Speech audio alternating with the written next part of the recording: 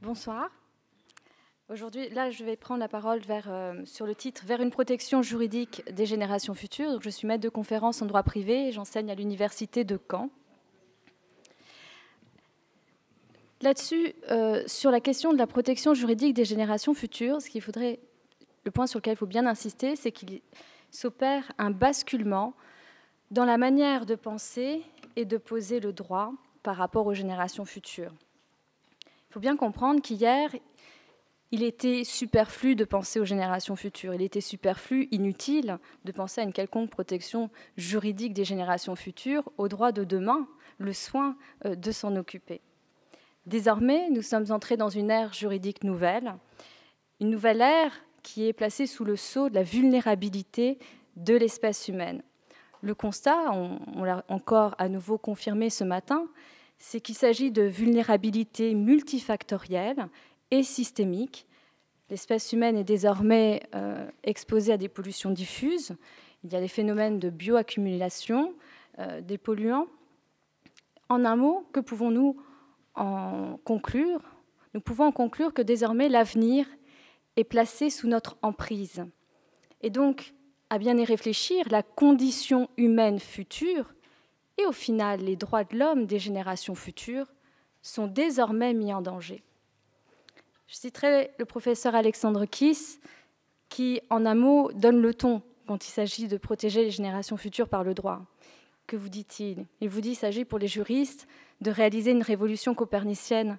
Il s'agit de décentrer l'univers juridique d'une révolution qui tourne autour de l'homme actuellement vivant. Si on veut intégrer les générations futures, il faut intégrer une nouvelle dimension temporelle.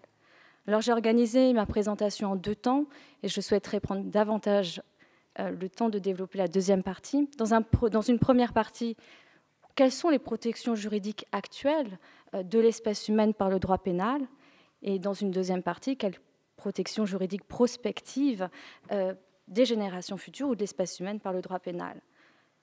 En un mot, pour les protections juridiques actuelles, il y a deux pôles, deux pôles principaux qui se dégagent.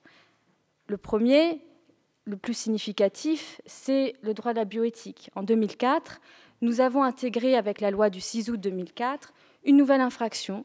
Cette infraction s'intitule les crimes contre l'espèce humaine. Infraction qui est distincte du crime contre l'humanité à l'article 214-3 du Code pénal.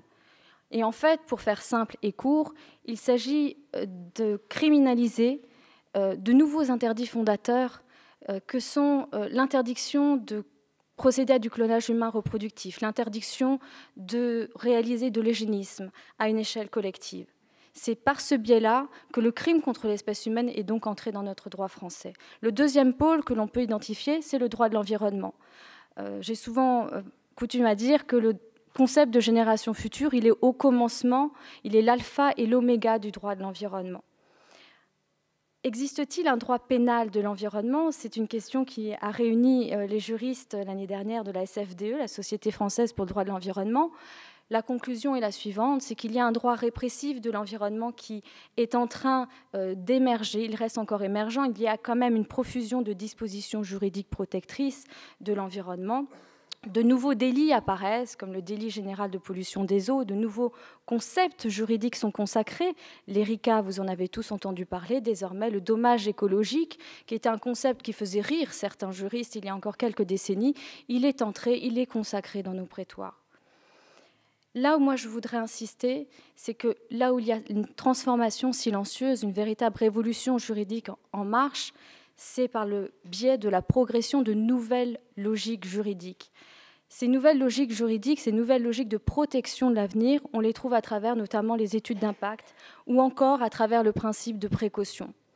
Un mot-clé qui résume toute cette démarche, c'est le mot anticiper.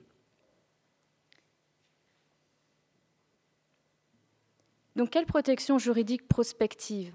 Qu'est-ce que l'on peut proposer en deux temps? D'abord d'un point de vue conceptuel, abstrait, puis dans un temps concret. Concrètement, quel type d'action pouvons-nous mettre en place? Alors au niveau abstrait, j'ai besoin d'élargir la focale et de poser la réflexion au-delà du seul champ du droit pénal pour vous donner à voir que cette défense juridique des générations futures, elle est en fait un nouvel impératif humaniste qui est en pleine progression, en pleine ascension normative et à tous les niveaux, que ce soit au niveau français, au niveau européen ou au niveau international. De quoi s'agit-il? Il s'agit de durcir en mots un nouvel objectif qui est un objectif de protection durable et systémique du vivant, et ce, à travers le temps. Donc vous voyez, il y a un décloisonnement des frontières. On va toucher le transspatial, le transtemporel, et tout ça dans une logique où on a bien conscience que tout est interrelié, tout est interdépendant.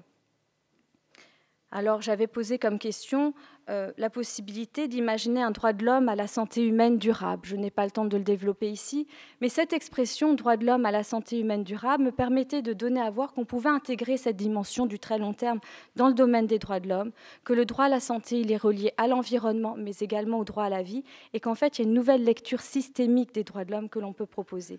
Mais ça, c'est l'objet d'un autre article pour insister sur les points clés concernant la protection juridique des générations futures, avant de revenir sur le droit pénal en concret et en pratique. J'insiste bien sur le fait que nous avons besoin de réformer notre manière de penser et de poser le droit. Je dis bien le droit en général. Il faut instituer la finitude en droit, c'est-à-dire cette idée de limite, de limite de nos ressources, de limite de notre existence humaine sur Terre. J'insisterai également sur un deuxième point. J'ai cru je crois avoir entendu ce matin quelque chose qui s'en approchait. En droit, nous avons souvent une façon d'avoir des logiques assez euh, figées. Et il faudrait nourrir une nouvelle épistémologie, une épistémologie juridique dynamique, c'est-à-dire qui pense euh, le continuum de la vie. Et le principe de précaution est un exemple clé. C'est un principe dynamique qui va s'appliquer de manière différente dans les années 80, 2000, 2020, selon l'évolution des connaissances sur un problème donné. Pour cela, une des clés conceptuelles, c'est d'intégrer les logiques complexes, la complexité dans le droit. Et enfin, intégrer cette dimension du long terme, du transgénérationnel. À présent, quelles propositions concrètes? Je reviens maintenant au droit pénal. Concrètement, qu'est-ce qu'on peut faire pour protéger les générations futures? Il y a un préalable qui me paraît tout à fait nécessaire. J'insisterai sur le fait que le droit, pour être légitime, il doit venir vraiment de la conscience collective. On ne peut pas l'imposer par le haut. Il doit venir vraiment d'une fédération des consciences. Le droit pénal, c'est un droit qui permet de protéger les générations futures en dépassant certaines difficultés techniques. Donc je n'ai pas, le temps de développer là. Mais disons que le droit pénal peut ériger une infraction et cela suffit, puisque la société est convaincue, par exemple, si un jour le crime d'écocide était retenu, cela suffirait à défendre les générations futures. Concrètement, il y a déjà plusieurs voix qui se sont élevées ce matin pour appeler à une, réglementation des conflits d'intérêts. Le droit pénal aurait certainement vocation à s'appliquer pour sanctionner des conflits d'intérêts qui n'ont pas été euh, régulièrement déclarés.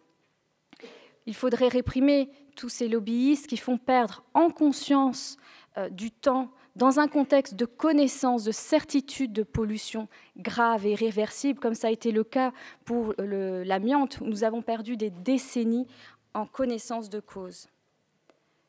Concrètement également, le principe de précaution peut permettre d'éviter un attentisme coupable, de contrecarrer l'absence d'action alors que nous avons des alertes, des signaux précoces qui sont lancés. Nous pouvons également proposer d'instituer des peines nouvelles. Mais vous savez, le droit pénal de l'avenir, il reste encore largement à inventer.